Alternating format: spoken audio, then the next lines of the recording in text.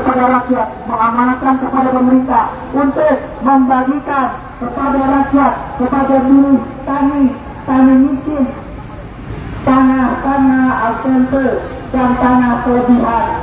Tidak seperti hari ini, 67 persen dari 100 persen jumlah luas tanah yang ada di Indonesia dikuasai oleh satu persen populasi yang tidak lain dan tidak bukan adalah tuan tanah besar Komprador, PTPN, Perhutani, Agrojabar, alih-alih dikuasai oleh rakyat.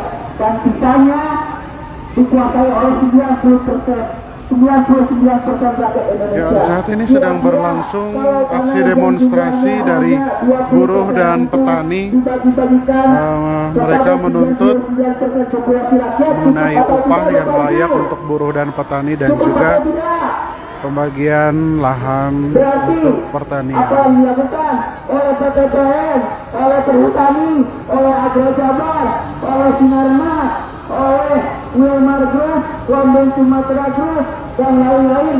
Kejahatan atau bukan kejahatan atau bukan Bapak Ibu itu adalah kejahatan yang besar yang mengkhianati konstitusi kita mengkhianati amanat daripada undang-undang pokok agraria yang telah disahkan oleh Presiden kita Soekarno.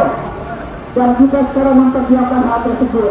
Bukan hanya terbatas pada hal-hal yang dicantumkan dalam undang-undang pokok agraria tetapi luas lagi menghentikan monopoli tanah yang dilakukan oleh tanah besar kontraktor seperti BPPN, Agrojabar dan lain-lainnya korporasi-korporasi besar yang menguasai tanah rakyat yang mengusir rakyat daripada lahannya yang mencegah rakyat mampu mengelola lahan dengan mandiri dan sejahtera. Itu yang kita tuntut hari ini.